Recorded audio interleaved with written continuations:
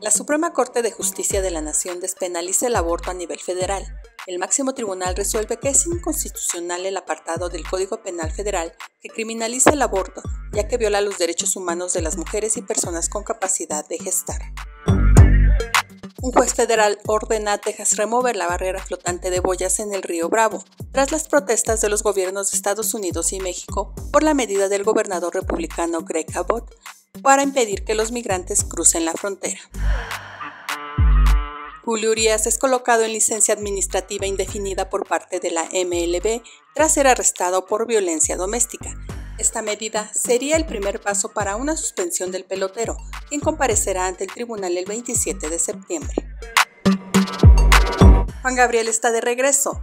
Con un misterioso audio en Instagram, el cantante anuncia el lanzamiento de un sencillo inédito titulado México es todo, mismo que se estrena este 7 de septiembre.